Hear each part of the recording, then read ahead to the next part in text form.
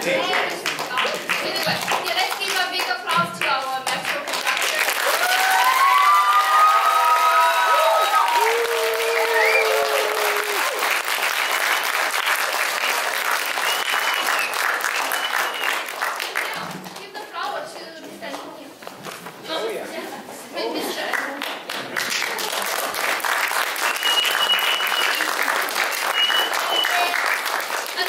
Applause, big applause to our vocal uh, instructor, Miss Diana.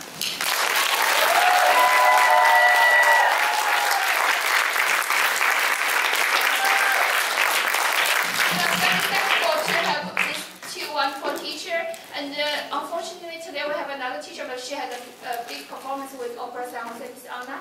So yeah, we give anyway give a big applause. to her.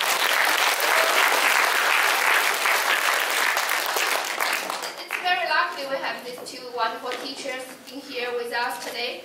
So they bring a very wonderful music to us, and uh, uh, I really appreciate. it. And like uh, Antonio every week drives like each commute take about, about like one uh, one hour and a half without traffic. Sometimes had traffic, just one commute takes Like like two two hours, and uh, you know back from back and forth it takes four four hours. So yeah, I really appreciate. it. Thank you for driving. through.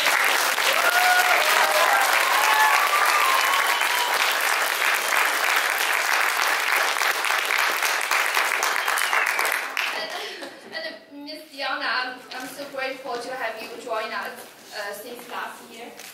Yeah, and since she's been here, I, I feel like a lot of repertoire getting you know more selected and our curriculum getting more organized.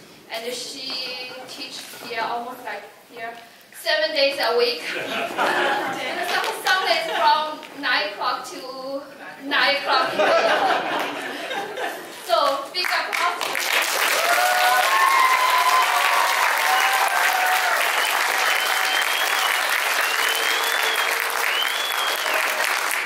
Thank you uh, for all the parents' support. Without you, the children cannot, you know, wear so beautifully, stand on stage here and sing so beautiful here. Yeah, thank you.